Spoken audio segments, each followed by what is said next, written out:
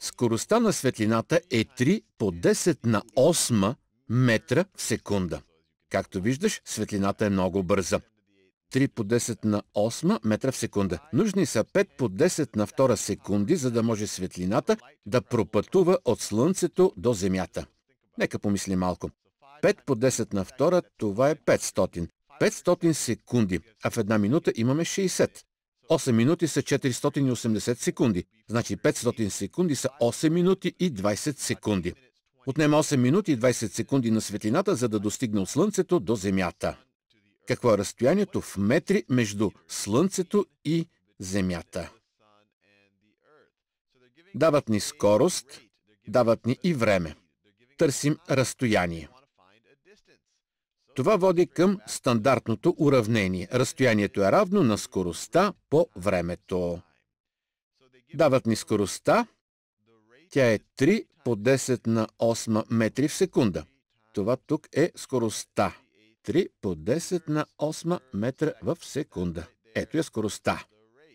Дават ни времето. Времето е 5 по 10 на 2 секунди.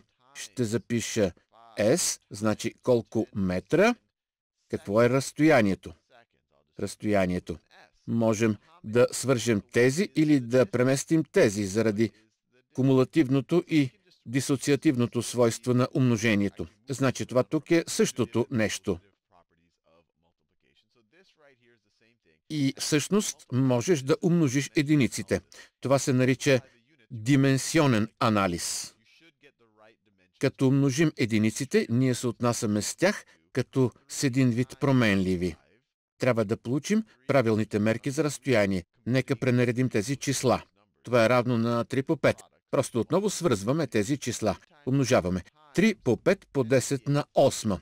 По 10 на, на 2. 10 на 2 и ще имаме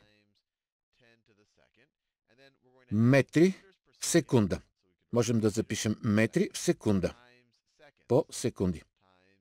По секунди. И ако се държим с тях като с променливи, тези секунди ще се унищожат с тези секунди тук и ще ни остане единицата метри, което е хубаво, защото търсим разстоянието в метри. Как се опростява това? Това ни дава 3 по 5, което е 15. 15 по 10 на 8 по 10 на 2. Имаме еднаква основа и търсим произведението. Значи можем да съберем степените. Значи това ще е 10 на 8 плюс 2 или 10 на 10. Може да си изкушиш да кажеш, че сме готови, че това вече е записано чрез стандартен запис. Но си спомни, че при стандартния запис това число трябва да е по-голямо или равно на единица и по-малко от 10. Това със сигурност не е по-малко от 10, значи как да го преработим? Може да запишем 15 като 1 и 5. Това вече е по-голямо от 1 и по-малко от 10. За да достигнем от 1 и 5 до 15, трябва да умножим по 10. Можем да си представим 15 като 15.0. 15 като 15.0 значи имаме десетична дроб. Ако искаме да преместим десетичната запетая с едно място наляво, за да получим 1,5, ние всъщност делим на 10. За да стане 1,5 делим на 10. Преместването на десетичната запетая наляво означава, че делим на 10. Ако не искаме да променим стоеността на числото, можем да разделим на 10 и после да умножим по 10. Това и това са едно и също число. Сега 15, 1 и 5 по 10 и после трябва да умножим това по, по 10 на 10. По 10 на 10. 10 на 10. Ето това. Това просто е 10 на първа, за да можем да съберем степените. Имаме същата основа, значи това е равно на 1,5 по 10 на степен 1 плюс 10 или 10 на 11 и сме готови.